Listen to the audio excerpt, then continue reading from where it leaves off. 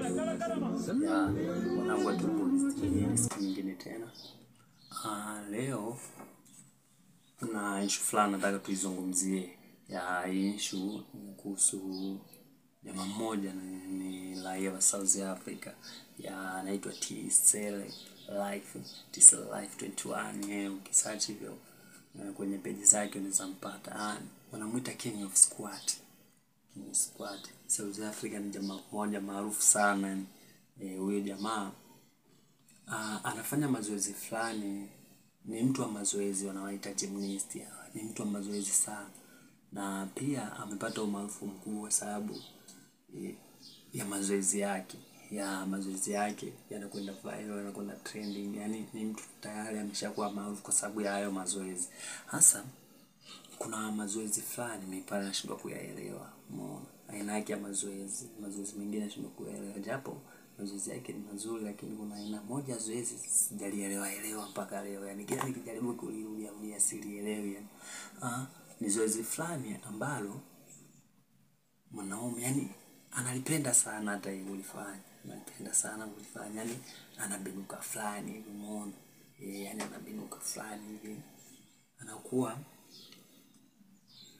nakuwa nashindwa kulielewa kwa sababu gani. Sasa najiuliza ni ile zoezi ni kwa ajili ya wanawake au kwa ajili ya wanaume? Yani umeona, kwa sababu ni zoezi ambalo linakufanya huku nyuma panakuwa hivi yani, yani ka, kama mtindo mpya fulani hivi, mtindo sasa hivi pikipiki au hizi bodaboda hizi, yani kuna mtindo fulani nabinuliwa hivi, yani nakuwa inakaa juu hivi, ambapo hata mtoto akikaa akikaa kwenye pikipiki kwa nyuma anabinuka hivi, umeona, anabinuka hivi, yani kitu kinabinuka hivi. Sasa hii squat.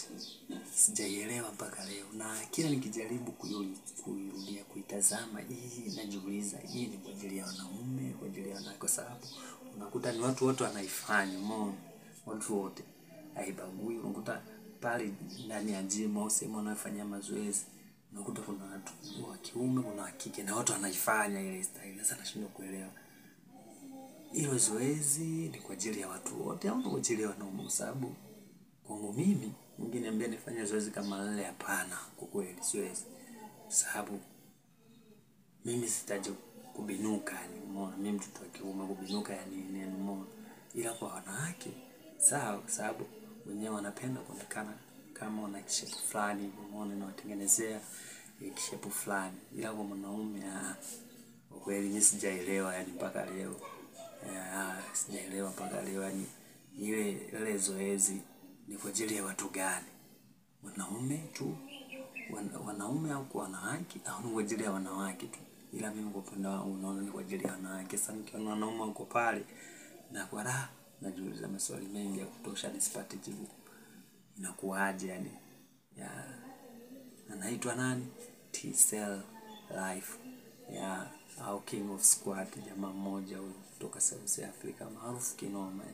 Nifuatilia mazoezi yake, kuna zoezi moja pia, kuna picha yake moja huwa ina trend sana, unaweza iona hapo kwenye video.